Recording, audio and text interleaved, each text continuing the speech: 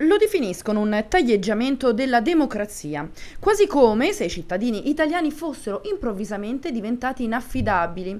Un pool di docenti della facoltà di giurisprudenza di Teramo e Chieti lanciano un grido d'allarme per denunciare il rischio di annullamento dei diritti dei cittadini sanciti dalla Costituzione, in particolare della seconda parte della Costituzione, l'unica ad essere modificabile, l'unica tra l'altro che può arrivare ad inficiare la prima, quella dei cosiddetti diritti diritti inalienabili. Questa volta mi sembra che il Parlamento voglia andare più speditamente, agendo anche attraverso una serie di meccanismi parlamentari che come dire, cercano di far fronte alla resistenza in atto da parte delle forze di opposizione.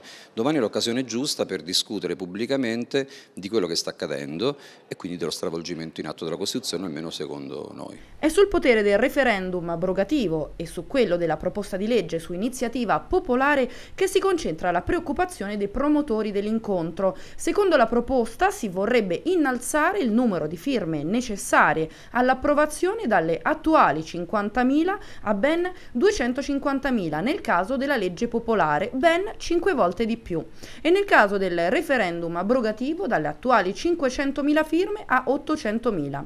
Insomma, secondo gli esperti, si andrebbe così a togliere ai cittadini il diritto sancito dall'articolo 1 della Costituzione, quello sulla sovranità del popolo italiano. La Costituzione è modificabile solamente nella seconda parte cioè eh, nella parte diciamo così, che eh, offre una prima eh, formale e normativa attuazione della prima.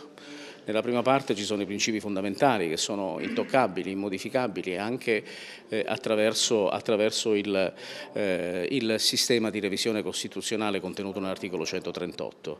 È chiaro che si può agire solo sulla seconda parte, ma queste modifiche che vengono proposte hanno una rilevanza fortissima sulla prima parte, hanno un'incidenza fortissima sulla prima parte, ecco perché io poc'anzi dicevo che finiscono per incidere proprio sulla forma di Stato.